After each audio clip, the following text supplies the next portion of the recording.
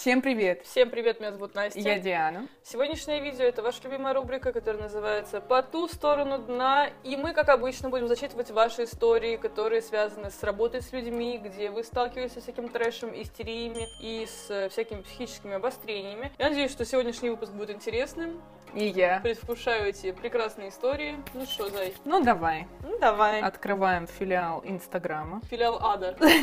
Да, в котором филиал Ада. Пока Диана ищет истории, на губах у меня помада от Maybelline Super Stay Matte Ink в оттенке 20, который называется Пионер, потому что я уверена, что кто-нибудь доспросит. Да, еще линзы скажи, какие у тебя пока Линзы, не знаю, как называется бренд, какая это модель, купила просто рандомно, ткнув в папке в наличии в группе с линзами ВКонтакте. Не знаю, выкинула все обертки, упаковки, хвосты потеряны. Приветик, я увидела вашу рубрику и решила написать историю, но не свою, а мамину. У меня мама работает мастером ногтевого сервиса уже более 10 лет, и за все это время у нее не было таких неадекватных клиентов. Случай произошел буквально меньше часа назад. Я просто вспомнила вашу рубрику на канале и решила рассказать. Хочу заметить, что моя мама в положении четвертый месяц. Я обожаю, что по горячим следам. Да-да-да, свежачок. Да. К маме в салон записывается пожилая женщина, лет 55-60, как сказала мама. Она опоздала на 30 минут и даже не извинилась. Так вот, она говорит, что никогда не делала покрытие гель-лаком и хочет попробовать. Мама начинает делать пилочкой, снимает глянец, и она говорит, что это вы делаете?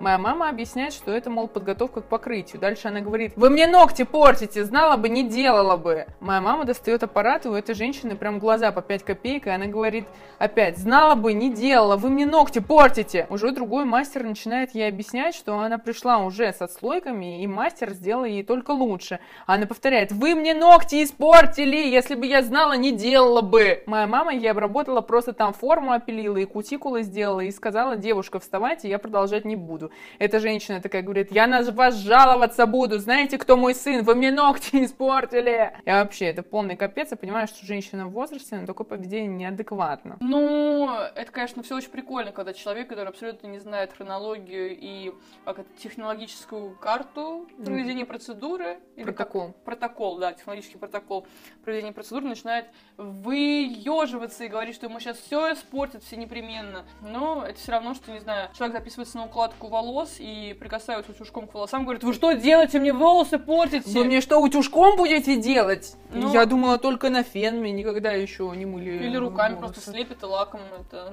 набрызгают, и все зафиксируется само. Я прекрасно понимаю ситуацию, в которой человек, который абсолютно не знает, как делается эта процедура, и ему начинают спиливать поверхность ногтя, ну, небольшую, он же не знает, сколько там спиливается, для чего это делается, необходимо это, не необходимо. Да, возможно, у человека был шок, я, в принципе, могу это понять, но орать и говорить, вы знаете, кто мой сын, вы мне испортили ногти, это, конечно, прикол. Это у меня папа депутат.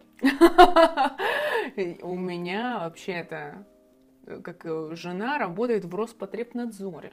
Я вас тут всех закрою вообще собачьему. Поняли меня? Ты когда-нибудь замечала, что мастер работает не так, как ты э, этого ожидала? Ну, как я ожидаю, это один вопрос. Как надо, это другой вопрос. Ну, Ну вот, говоря. типа, не как надо. Вот Ну вот у меня была ситуация, да, то, что я, к сожалению, не смогла доехать до своего мастера Нины, чтобы сделать маникюр, у меня уже очень сильно отрезли ногти, мне нужно было их снимать. Я уже рассказывала, как я сходила в салон красоты у себя в доме, просто чтобы снять нарощенные ногти, и то, что мне делали там, как мне делали снятие там, и как мне делают его обычно, это просто вообще две разных вселенные, грубо говоря. Я понимаю, что, скорее всего, такой способ, он возможен. Но никогда вы снимаете огромные-огромные когти. Зачем их откусывать кусачками? То есть представьте себе, да, длинный ноготь, вот этими вот кусачками, приставив к э, уже фаланге пальца, откусывают, и, естественно, может треснуть в любом месте. И у меня ноготь треснул на мясе, на середине, и оторвался. Почему нельзя было спилить его, как вот этим аппаратом, да, которым, грубо говоря, делают кутикулу, более толстой насадкой, мне обычно спиливают ноготь, а потом уже все остальное. И так никакой трещины не появится. И я просто сижу, говорю, вы что делаете? Она такая, ногти снимаю. Типа, а что? И она в итоге меня выпустила просто обглоданными э, краями ногтей, какими-то острыми, торчащими. Просто потому что вот как треснула, так она и оставила. Я говорю, может быть, вы мне подпилите или как-то, не знаю. Она говорит, ну я только кусачками могу, потому что инструменты стерилизованные, его надо под вас доставать, а вы только на снятие пришли. Тогда уже будет маникюр считаться. Я говорю, ладно, все, я пошла отсюда. Благо, мне надо было просто подняться в свой дом. Но я спрашивала, типа, вы в своем уме вообще что делаете?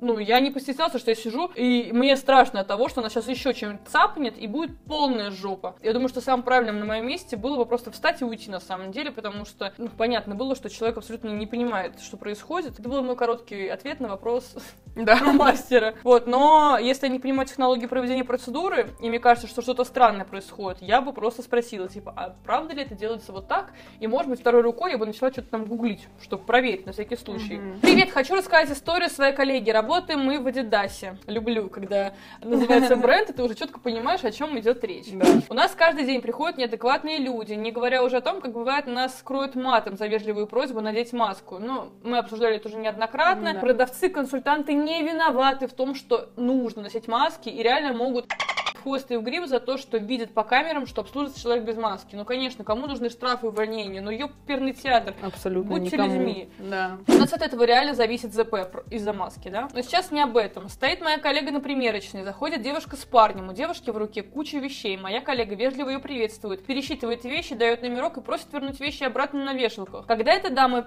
Кстати, это странно. Верните вещи на вешалках. Я такого никогда не просила. Меня просят, да. Да? Да. Ну, я помню, когда последний раз ходила что-то в магазин, и я не помню, короче, что там было. В общем, там типа одна или две позиции я не повесила на вешалку, там, знаешь, типа за хитро какая-то конструкция была, что я такая, типа, ладно. Мне говорят, на вешалке. Я такая, окей, Ну, можно вернулась сказать- и такая, Можно было повежливее сказать, не на вешалке, не могли ли бы вы, пожалуйста, если изначально не просили, откуда должна знать? Я, например, ни разу не сталкивалась с такой просьбой. Моя коллега к ней обращается с просьбой вынести все вещи и положить на стол, на что эта девушка начала скандалить. Я ничего не обязана, вы обслуживающий персонал, клиент всегда прав, это ваша работа. Ну, все самые классные тезисы, короче. На что моя коллега ответила, что все мы люди, и надо уважать чужой труд. Это была суббота, когда народ, у нас было очень много, и работник, который стоит там, только и успевает, что развешивать примеренные вещи. Но девушка в ответ начала орать. Зачем вы мне хамите? Ваша работа, вы и выполняете. Я могла эти вещи вообще по залу разбросать, скажите спасибо, что они в одном месте. И удалилась из зоны примерочной. Работая здесь, я поняла, сколько злых людей у нас в стране. Но это к разговору о том, что некоторые люди приходят тупо сбросить свое плохое настроение, наорать на кого-нибудь, если есть удобный случай. Знаешь, я думаю, что здесь даже дело может быть не в плохом настроении, а в этих каких-то барских, мещанских замашках. То, что типа, вы обслуга, вы должны, я клиент, я права. С таким подходом вообще сидите дома. Не портите никому настроение, реально, что это такое? Факт. Я вот читаю канал в Телеграме НТНС, Мгм. все вообще новости читаю. Это единственный канал, который я на самом деле в Телеграме прям мониторю активно. И там какая-то инстаграм женщинка, которая про мещанскую еду рассказывала. Вот мещанская еда, вот это вот вся вот это, или что-то, короче, такое было. По-моему, это Адель. Да, да, да, да, да, вот именно такое у нее имя, да. Обожаю вот это вот все. Рубрика «Мещане». Привет, хотела рассказать вам историю для вашей рубрики. Я работала в салоне сотовой связи в небольшом поселке. И ко мне как-то зашел дедушка и говорит, я тут телефон новый купил. Мы с приятелем сидели, смотрели, ну, этот, секс-пекс, сама понимаю. Я думаю, что это еще было сказано секс-пекс. Обращается он ко мне и просит все это удалить, чтобы жена не видела. Я соглашаюсь и говорю, что стоить будет 200 рублей. А, Вроде бы и недорого, но все же. Я выполнила работу, и он говорит, что налички у него нет. Я говорю, тогда заплатите по карте. Он начал там говорить, зачем это Д все равно типа себе заберешь. Я не обратила на это внимания. И он говорит, что сходит в Сбербанк, снимет деньги и вернется. А так как это поселок, и все друг друга знают, я особо и не переживала. Он вернулся со 100 рублями и говорит, на тебе 100 рублей, все равно ты это себе заберешь, это Д. На что я ему отвечаю, что я ему могу предоставить чек об оплате его услуги. Он просто кидает эти 100 рублей на стол и говорит, что я там почти ничего и не делала. Интересно, а что это за услуга, типа почистить э, историю? Ну, мне кажется, это просто как какой-нибудь, типа, ну, сервис для телефона. Там, знаешь, а установка А. приложений бывает, да, там, при А, ну покупке. да, да, да. Да стопудово какая-нибудь такая, знаешь, общее название функции, типа, не конкретно почистить кэш, а просто, типа, ну, что-то по телефону, типа, сделать. Блин, такого я еще не слышала. Вообще де- деньги с него деру. На что я ответила, что я выполнила работу, и за нее нужно заплатить. Он просто начал говорить про ужасное обслуживание, что он сюда больше не придет. Хотелось в ответ крикнуть, что я скажу все его жене. К слову, они заходили в салон еще не раз, обращались за помощью. Видимо, очень много смотрят секс. Пэкс. секс-пекс. Старые люди, ну come on. ну, Дедулька. Ну, дедулька смотрел секс-пекс и решил почистить... э, Ну, дедулька тоже человек. Конечно, тоже э, однозначно. смотреть. Привет! Очень нравится ваша новая рубрика. Хочу поделиться и своей историей. Я работаю парикмахером. Как-то вечером пришла девушка. Войдя, она сразу показала мне заметку в телефоне, где было написано «Я записана на 7 часов на стрижку». И показала фото стрижки. Было очевидно, что она глухонемая. Я помыла ей голову, посадила в кресло стригу. К слову, стрижка была очень простая. Лесенка у лица и удлиненная челка. Я достригаю, снимаю с нее накидку, и тут она вскакивает с кресла и начинает орать совершенно сумасшедшим голосом. «Ты что натворила, скотина? Ты испортила меня! Ты сделала из меня урода!» И тому подобное нескончаемый поток помоев в мой адрес. Попутно, не прекращая орать, она берет свои вещи и просто выходит из студии. Очень умно наорать и под шумок свалить. А что? И На умно при- притвориться глухонемой. Естественно. А зачем, кстати? Не знаю, наверное, чтобы потом такую ситуацию создать. она берет свои вещи и просто выходит из студии, пока мы, я, другой мастер с клиентом и админ, стоим в полном шоке. Это было настолько неожиданно, что мы даже не смогли успеть слово сказать. Но вишенка на торте, эта девушка была записана заранее, и имя у нее было очень необычное. В тот вечер на Тугис у нас появился новый отзыв от пользователя с таким же именем. Спасибо за отличную стрижку и самая высокая оценка. Что? Я не понимаю. Очень хочется как бы и стрижку на халяву, но при этом наш хорошая оценка. Такая типа спасибо от души вообще. Да, не испортила людям рейтинг. Понимаешь, ну, Привет, опубликуйте. Наверное, одна из самых загадочных историй, которые произошли со мной в жизни, случилась, когда я служил в армии. У нас в роте был паренек Алимжан Агишев, но все его звали Леха. Я обожаю, что имя и фамилия, типа. Через какое-то время после начала службы у меня появился интернет, и я решил найти его в ВК под именем Алексей Агишев. И когда вбил это в поиск, увидел страницу с этим именем и моей фоткой на Аве. Чего? знаешь, думал, что никогда никто не найдет и не задумывается. Как... Типа, меня же не так зовут, правильно? Как его найти-то, раз он другим именем? На стене у него были фотографии с моей страницы под бредовыми подписями типа «Обычный денек» и все такое. Я был в шоке. Я написал ему, он мне ответил. Извинился и рассказал историю, что, мол, одна девушка учится в соседнем с моим городе и таким образом решила проучить другую девушку, которая училась в моей школе, но старше лет на 7, узнать побольше о ее жизни и что-то в этом духе. Пообщались пару дней, скинула левую фотку, типа это она, и пропала. Вот так. Когда-нибудь я узнаю, кто же это был. Вот так, если бы я не встретился с Алимжаном, которого все называют Леха, и нашел бы страничку ВК, использующую мои фотки. Конечно, не про работу историю, но забавно. Ну, это к разряду про фейки. Я думаю, скоро мы начнем принимать заявки на истории про конкретный какой-нибудь Мы прямо сейчас их и откроем. Пожалуйста, тема для нашего выпуска это... Мистика! Ну, мистика, фейки, давайте вот такое вот, кстати, обсуждать, потому что это интересно. Я уверена, у каждого что-то было, но я, к сожалению, вот сейчас вот прям вот сходу вспомнить не могу, но я думаю, что если покопаться в голове, то найдутся какие-нибудь такие истории. Давайте про мистику, паранормальщину, гадалок, про какую-то стрёмную криповую херню вот на этот электронный адрес, либо же в наши директы Инстаграма, в которые вы видите себя на экране. И также, естественно, в описании под роликом будут все контакты в письменном виде, чтобы вы могли сделать, копировать, вставить и отправить нам свои прекрасные истории. Давайте мы прочитаем последнюю историю и все. Привет, Настя! Я вот посмотрела ваше видео и решила тоже рассказать свою историю. Вдруг будет интересно. В общем, работала я как-то админом в детской комнате сад. Это такая комната, где помимо всяких праздников с 9 до 14.00 родители могут оставлять своих деток, как в садике. У нас нянечка, занятия, полдник и прочее. Так вот, как мы все давно знаем, не всегда мамочки бывают адекватные. А зачастую абсолютно неадекватные. Это я уже себя добавляю. Извините. Сейчас набросятся на меня люди, но я думаю, что все понимают рубрику «Я ж мать».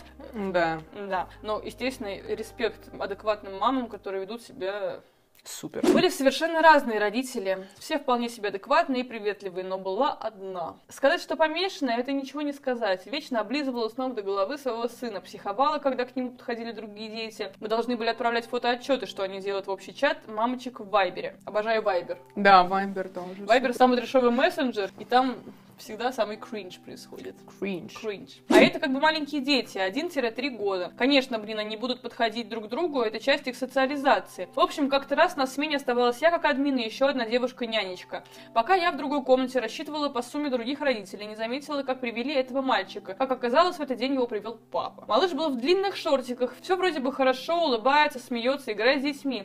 Папа спокойно оставил, ничего не сказал и ушел. Вот приходит время, когда за ним приходят родители, и значит за этим мальчиком приходит та самая мама. В этот момент я слышу просто истерический крик, виск, вылетаю туда. Мать это просто неистово орет на нашу нянечку, материт ее благим матом. Это при том, что вокруг еще куча детей так-то. Кричит на нее, на меня, мол, мы мрази, твари, нам нужно сдохнуть. Моя коллега чуть ли не плачет, а я не понимаю, что произошло. Пытаюсь как-то это выяснить, и спустя 15 минут этого ора она все-таки говорит, мол, у ее ребенка на коленке ранка. Показывает, а там, знаете, когда в детстве бежишь и падаешь на колени, счестно немножко. У всех бывало в детстве. А из-за удлиненных шорт мы ничего и не увидели. Я смотрю, ребенок пытается ей что-то сказать, но она даже не дает. И продолжает орать. К слову, ребенок более-менее уже говорил к тому возрасту. В итоге, спустя еще 40 минут адовых разборок, она звонит мужу и жалуется, мол, какие мы мрази и твари. На что тот говорит, что когда он вел мелкого к нам, тут грохнулся и счесал коленку, а он забыл нам рассказать. Занавес. Видели бы вы лицо этой я ж матери, однако извинений нам так и не последовало. Она молча развернулась и ушла. К счастью, долго там не проработала. Типа, ок! Блин, а вообще у меня подружка работает воспитательницей в детском садике, я тоже наслышана всяких таких историй, но рассказывать я, к сожалению, не могу, поэтому... Вот так. На самом деле у нас у каждого есть какие-то истории, которые мы хотели бы рассказать, но не можем по каким-то своим причинам. Знаешь, хочется сделать так, что типа, ну вот, знаете, у меня подруга есть, типа, такая история. Типа, ой, там девочка прислала историю, прикиньте, училась на депиляцию. Не, у меня тоже есть некоторые вообще абсолютно трешовые истории, но я просто переживаю, что люди, которые в них вязаны, они могут меня потом найти и покалечить. Ну, типа, на самом деле, потому что есть три, и три показывают два. Есть три момента в моей жизни, которые очень хочется рассказать, но я просто не знаю, как это сделать без беспокойства о потом собственной безопасности, потому что не указывать, где это и кто был, просто невозможно, потому что там все очень сильно завязано. Но если у вас есть что-то прям трешовое, да. и вы можете нам это рассказать, то присылайте, мы большую часть того, что нам присылают, озвучиваем. Совсем прям лонгриды, которые на 6 экранов э, айфона, вот так вот там долистать, к сожалению, ну, вы сами понимаете, что это сложно просто вот так вот устно воспринимать такое количество количество информации. Поэтому в основном мы рассказываем истории покороче, которые как-то ну, можно еще выслушать без э, того, чтобы запутаться. Да. Вот, но э, следующая тема у нас будет мистика, поэтому нам нужно пособирать ваши истории. Надеемся, что их будет достаточное количество для того, чтобы снять отдельный ролик на эту тему. Да, но я надеюсь, когда мы будем читать эти истории, ты не будешь бояться. Главное не бояться, понимаете? Людей бояться можно, призраков, чего бояться. Да, у нас есть видео про паранормальщину, по подсказке наверху можете посмотреть.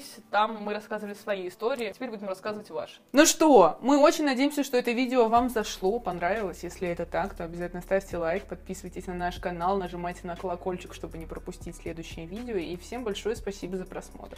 Всем пока! пока.